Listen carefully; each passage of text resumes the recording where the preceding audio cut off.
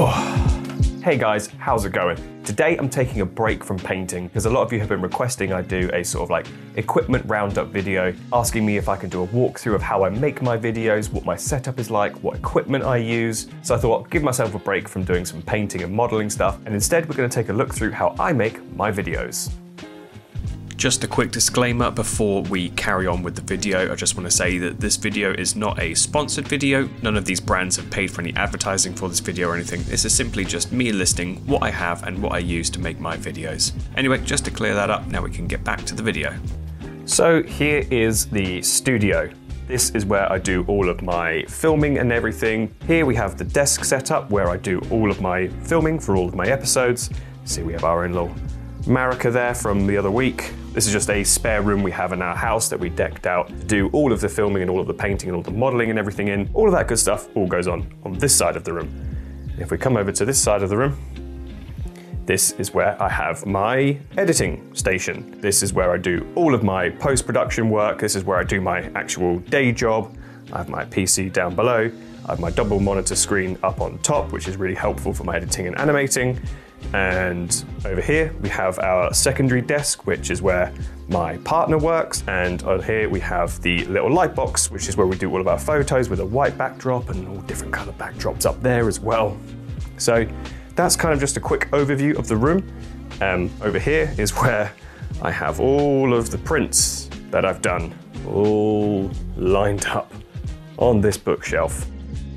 So let's jump in and then we'll take a look at what each thing is and does.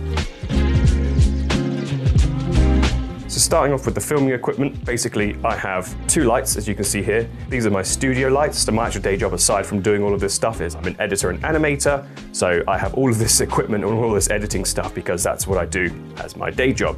So these lights here are Dazzne. They're Dazzne D50s and they're really good flat LED lights. And this one I have basically brightening up.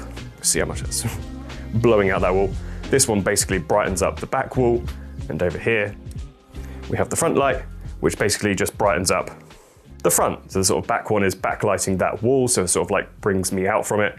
And then that one is brightening all of the forefront stuff as well. Then I have my little desk lamp, which highlights all of the model stuff. So those are the two lights that I use. Over here is the main camera, and this is a Sony a7S II with a 50mm prime. It's a beautiful lens, it's a really good camera. And my second camera, which is what I'm using to film, sits on this, which is a overhead tripod. So we get our lovely overhead view shots of everything. The secondary camera, which I'm using to film now, is a Sony ZV-E10. Now, I used to work for Sony as an editor, and before I left, I decided to just rinse my staff discount and just bought loads of Sony equipment that I can use for filming and editing and everything that I do. On the desk, we have a K66 Zeal Sound microphone. Just a really cheap Amazon job. It was just something that I could have on the desk while I was painting and filming with other people, so I didn't have to rely on a lapel mic. The desk lamp I have is just a sort of really cheap 15 pound jobby. Really nothing special. I'm gonna be upgrading this at some point when I get around to it. That's everything in terms of filming equipment, everything. That's the lights, cameras, everything that I do to film everything. And when it comes to taking pictures of everything, so this is my light box here. Annoyingly, the fuse has blown on it, so the lights don't come on.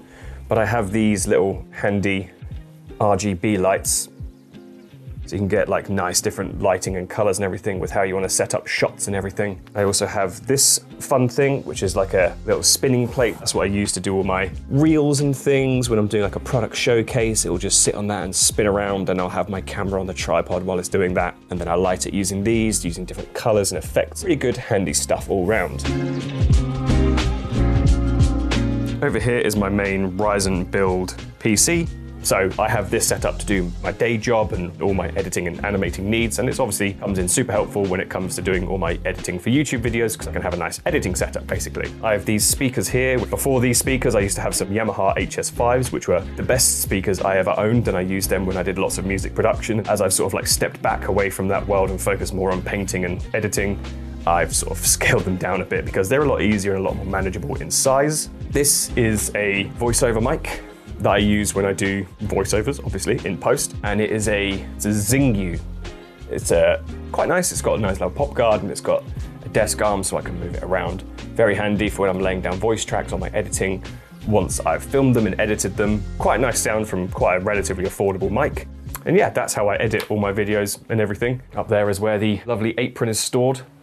And I have these wonderful Elden Ring and Dark Souls art pieces up there, which was sent to me by the lovely company Lost in Cult, and some lovely signed artwork from people I've met as well. So that there is the editing station. And if we take a look here, this is where I have all my prints that I've done over the past year. Quite extensive, some board game pieces as well. So now that we've done all that, let's hop into what equipment I use on the desk.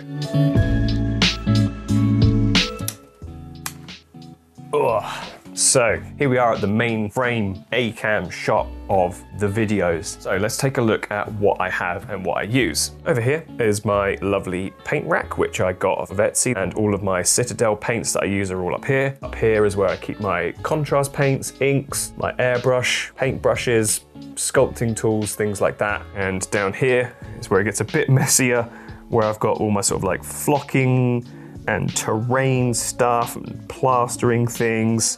My airbrush compressor is even further below down there, as you can see it.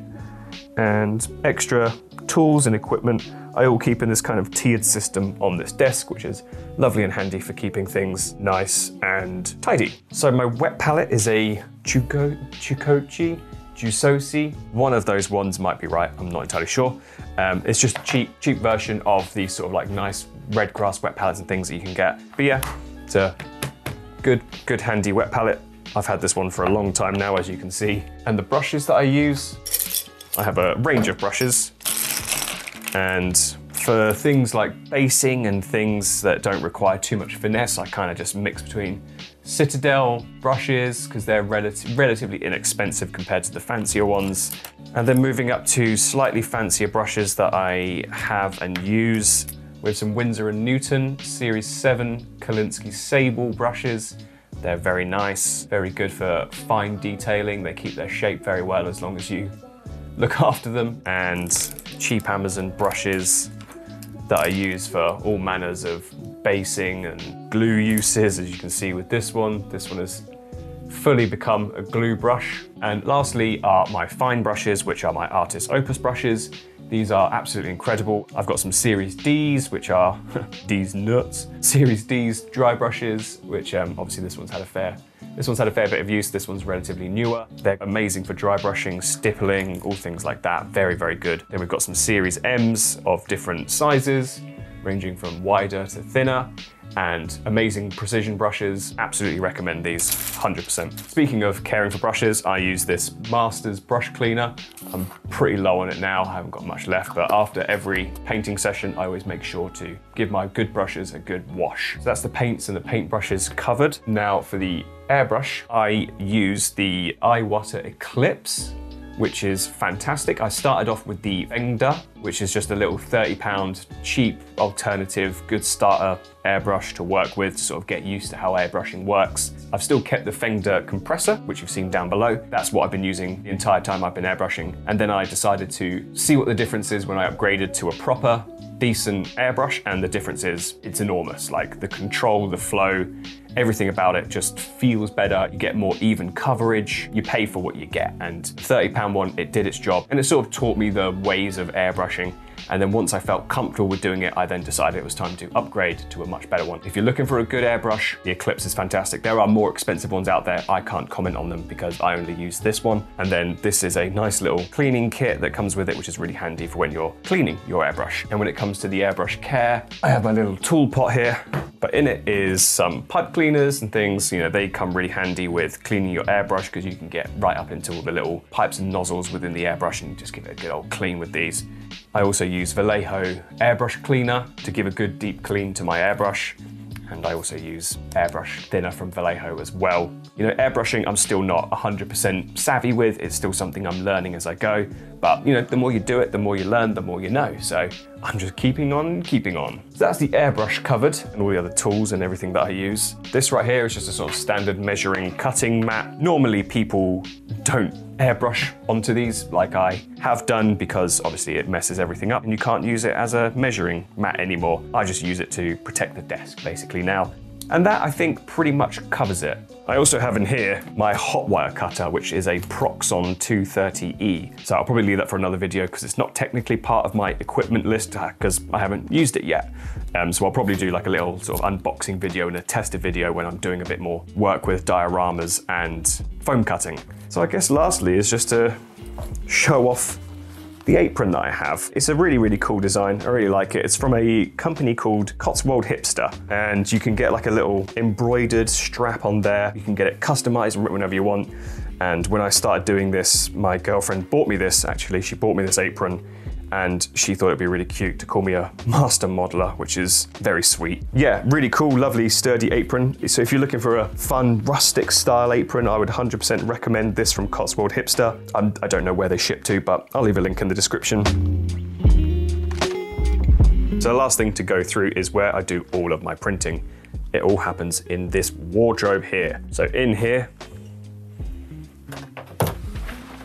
is where I do all of my printing. This is basically just a antique wardrobe that I got off Gumtree.